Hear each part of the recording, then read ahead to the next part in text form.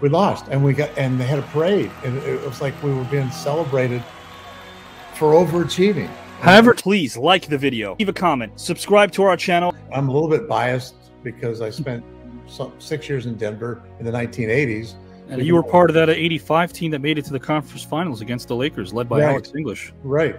So uh, uh, even though it was a long time ago, I still uh, have fond memories of, Of course. all the time we spent in Denver. And so, and the fans are, are big time in Denver. They're terrific. Uh, we when we, in that '85 series, we we lost to the Los Angeles Lakers, which is no shock. They were dream team, or they were Showtime at that time with Kareem and Magic and Worthy and Scott and Sure.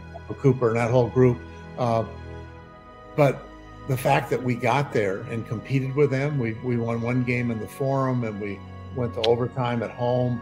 Uh, the fact that we competed, they had a parade for us downtown in Denver. I didn't know. That's We incredible. lost. We And, lost. yeah, it's not a parade. We lost, and we got and they had a parade, and it, it was like we were being celebrated for overachieving. However, to,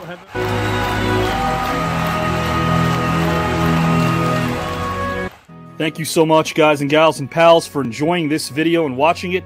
If you love the content, if you're enjoying it, please like the video, leave a comment, subscribe to our channel, and make sure that you know that we know that the Knew Network is on the rise.